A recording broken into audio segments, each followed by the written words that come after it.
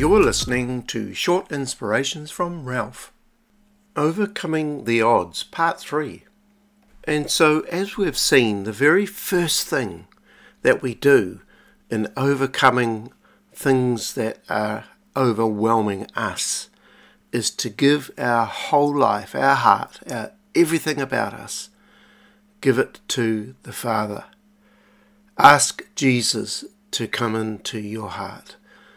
Receive the coat, the multicoloured coat of salvation, because the Bible says that salvation belongs to our God and to the Lamb.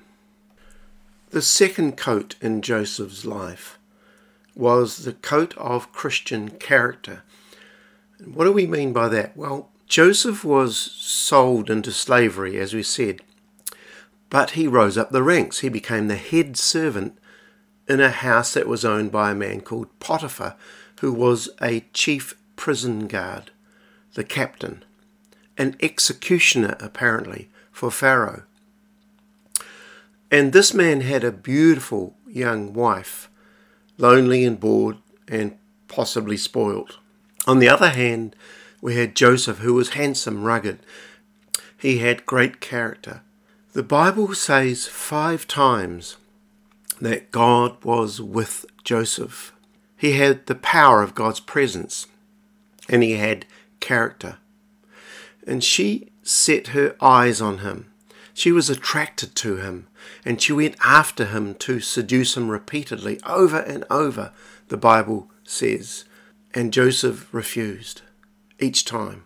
Finally, one day when the house was empty, and she made sure it was, the stage was set. She moved in for the kill. She said to him directly, Sleep with me. He refused. He ran from her. this sullen, disillusioned, rejected woman screamed rape. And as he left, get this, she grabbed his coat and held it as evidence that he'd been there. Potiphar came home and didn't hear the other side of the story and instantly condemned Joseph to prison for apparently 13 years. But get this the coat of Christian character is something that you and I put on. Because we love the Lord, because we've received His great salvation, and it is great, we don't want to do anything that would pull down the name of this great God who saved us. And Joseph said this to this woman How can I sin against God? It wasn't against her, it wasn't against anyone else really, it was against God. And we know that that is the greatest thing that you can do when temptation comes your way, is to say, How can I do this thing? How can I sin against God? And so Joseph was in prison for 13 years. And he would have suffered, and his name was slandered and made mud, and broken and hurt and wrongly accused. But I want to say this every believer has two coats. The first coat is the coat of salvation. God's responsible for that. The second coat is the coat of Christian character. You and I are responsible for that coat. There are two sides to the proposition of Christian living, of following Jesus. There is your position in Christ. It's what Jesus did for you on the cross, paying the price of our sin. Then there's your condition in Christ. That's how you respond and what you do, and you let your light shine before men. It's your actions. There's imputed righteousness. He fills your life up with His grace.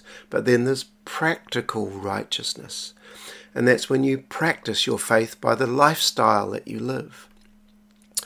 You let your light shine. You don't compromise because you know that God's presence is with you and you want to do nothing to sin against Him, just like Joseph.